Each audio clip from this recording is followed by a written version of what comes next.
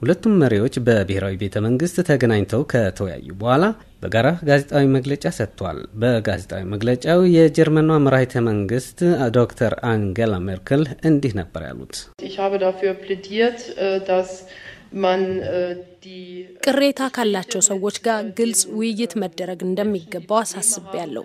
ቀጣይነት ያለው የሲቪል ማህበረሰብ በማደግ ላይ ያለ ህብረተሰብ አካል መሆን እንዳለበትም ተጠቁሟል።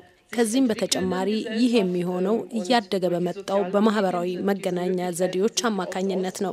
በዚህ ረገድ እኛ በነፃው መስክ ለመርዳት ዝግጁ ዶክተር አንጌላ መርክል ከጋዜጠኞች የቀረቡ ጥያቄዎችን መሰረት አድርገውም ሲናገሩ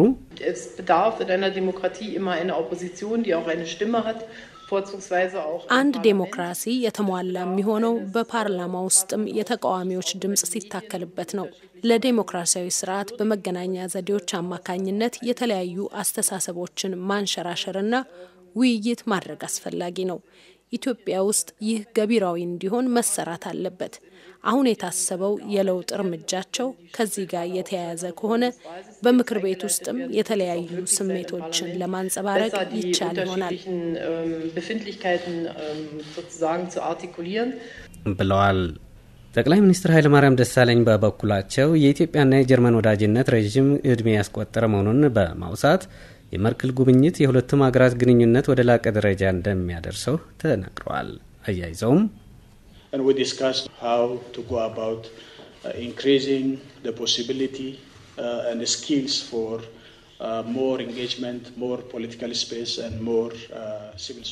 የዜጎቻችን የፖለቲካ ተሳትፎ ለማበረታታትና የፖለቲካ ምህዳሩ ለማስፋት የሚቻልባቸው መንገዶች ላይ ተወያይተናል።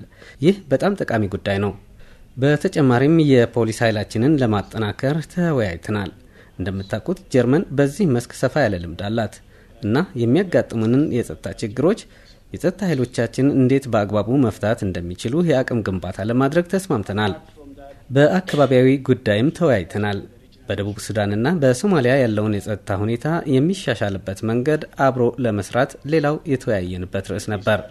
areas where we can cooperate and even deepen uh, the cooperation we have uh, with Germany.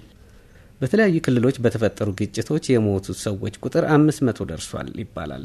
ይህን ሊያረጋግጡልን ይችላሉ ወይ ተብሎ ከጋዜጠኞች ለቀረበ ጥያቄ ጠቅላይ ሚኒስትር ኃይለማርያም ደሳለኝ ሲመልሱ በተለያዩ ጊዜያት በተካሄዱ ግጭቶች በርካታ ሰዎች መሞታቸውን በመግለጽ ቁጥሩ ከዚያም ሊበልጥ እንደሚችል ተናግረዋል። ለዶቼ ቨለ ራዲዮ ለተጠናቀረው ዘገባ ዮሐንስ ገብረ እግዚአብሔር ነኝ ከአዲስ አበባም